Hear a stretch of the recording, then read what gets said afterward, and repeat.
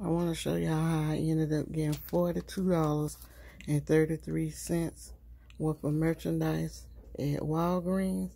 I got nine items, which is two lipstick, Wet n Wild. I got the sneaker, the cat litter. I also got the Scott paper towels and the tissue. I got Tide, the Tide Pods, and the Febreze plug-in. And as you can look at my receipt,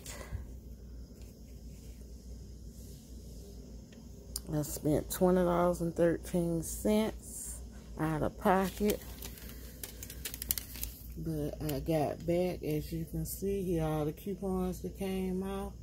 And I also had $5.90 in promotional savings. And that was $8.06 back.